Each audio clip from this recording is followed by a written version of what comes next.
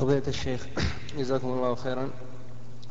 نريد أن نعرف ما هي السلفية كمنهج وهل لنا أن ننتسب إليها وهل لنا أن ننكر على من لا ينتسب إليها أو ينكر التسمي بكلمة سلفي أو غير ذلك؟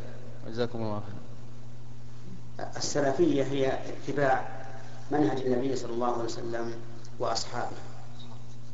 لأنهم هم الذين سلفونا وقدمونا وتقدموا علينا فاتباعهم هو السلفية. وأما اتخاذ السلفية كمنهج خاص ينفرد به الإنسان ويضلل من خالفه من المسلمين ولو كانوا على حق. واتخاذ السلفية كمنهج حزبي فلا شك أن هذا خلاف خلاف السلفية.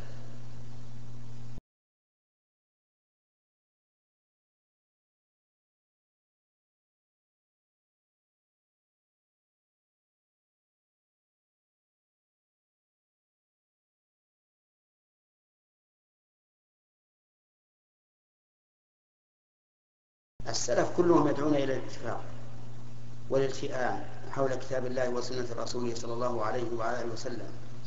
ولا يضللون من خالفهم عن تأويل. اللهم إلا في في العقائد فإنهم يرون أن من خالف فيها فهو ضال.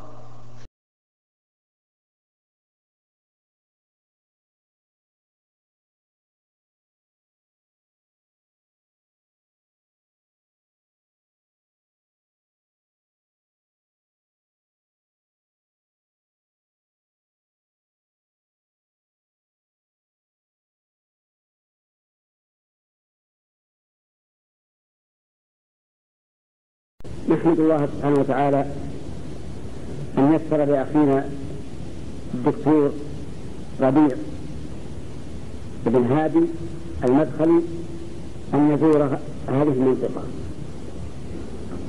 حتى يعلم من يخفى عليه بعض الأمور أن أخانا وفقنا الله وإياه على جانب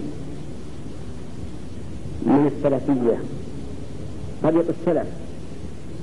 ولست أعني بالسلفية أنها حزب قائم مضاد لغيره من من المسلمين لكني أريد بالسلفية أنه على طريق السلف. في منهاجه ولا سيما في تحقيق التوحيد.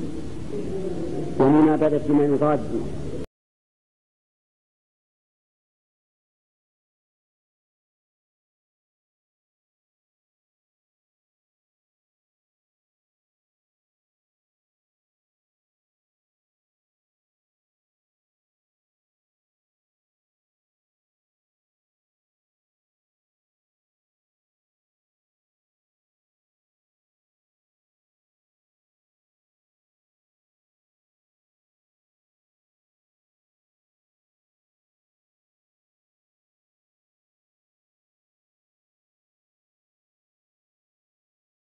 هُوَ الَّذِي أَنزَلَ عَلَيْكَ الْكِتَابَ مِنْهُ آيَاتٌ مُحْكَمَاتٌ هُنَّ أُمُّ الْكِتَابِ وَأُخَرُ مُتَشَابِهَاتٌ. فَأَمَّا الَّذِينَ فِي قُلُوبِهِمْ زَيْغٌ فَيَتَّبِعُونَ مَا تَشَابَهَ مِنْهُ ابْتِغَاءَ ابتغاء الفتنة وابتغاء تأويله